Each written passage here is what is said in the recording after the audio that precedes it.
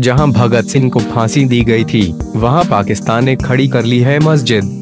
स्वतंत्रता आंदोलन के वक्त अंग्रेज़ी हुकूमत ने 23 मार्च 1931 को लाहौर सेंट्रल जेल में फांसी पर चढ़ा दिया गया था। कई साक्ष्यों में साबित हुआ था कि इस फांसी से हिंदुस्तान के युवाओं की खून उबाल ला दिया था। इस फांसी से जन्मे उन्माद ने अंग्रेज़ों को हिंदुस्तान छोड़ने पर मजबूर किया।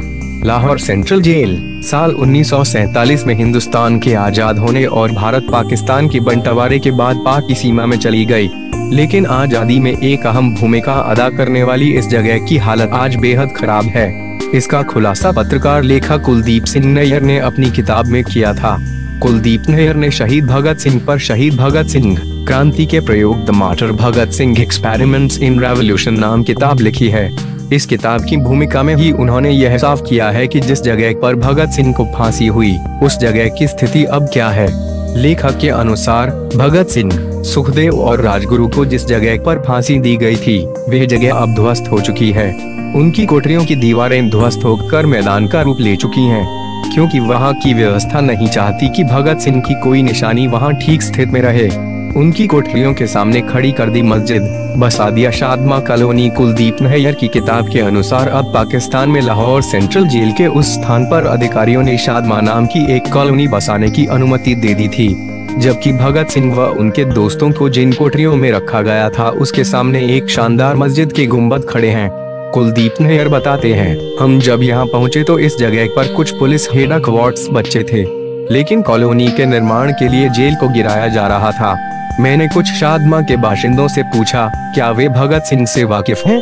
तो ज़्यादातर के पास अस्पष्ट जानकारी थी, जहाँ भगत सिंह की फांसी का तख्ता था, उसे चौराहा बना दिया पाकिस्तानी हुकूमत शायद भगत सिंह की फांसी से संबंधित स्मरकों व निशानियों को मिटा देना चाहती है। किताब के अनुसार जिन जगहों पर भगत सिंह व उनके दोस्तों को फांसी देने संबंधित तख्ता था, वहाँ अब चौहारा बन गया है।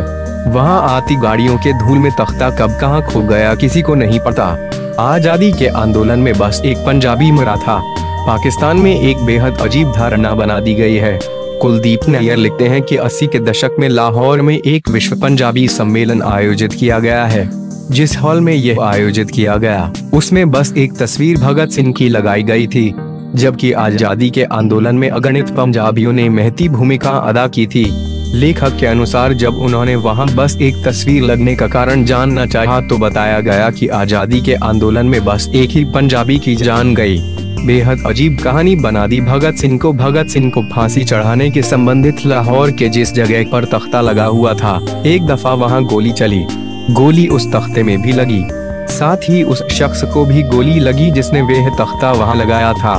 मामला पूर्व पाकिस्तान पीएम जुल्फिकार अली भुट्टो से जुड़ा है। उन्होंने नेशनल असेंबली के हिस्सा रह चुके अहमद रजा कसूरी की हत्या का आदेश दिया था। यह हत्या एक स्वचलित बंदूक से की जानी थी। हत्या के समय सहयोग से वे उसी जगह पर पहुँच गए जहाँ भगत सिंह की फांसी वाला तख्ता था। जब गोली चली तो वे कसूरी के पिता को लग गई। कसूरी के पिता उन लोगों में से थे जिन्होंने वे तख्ता बनाया और भगत सिंह के समर्थक थे।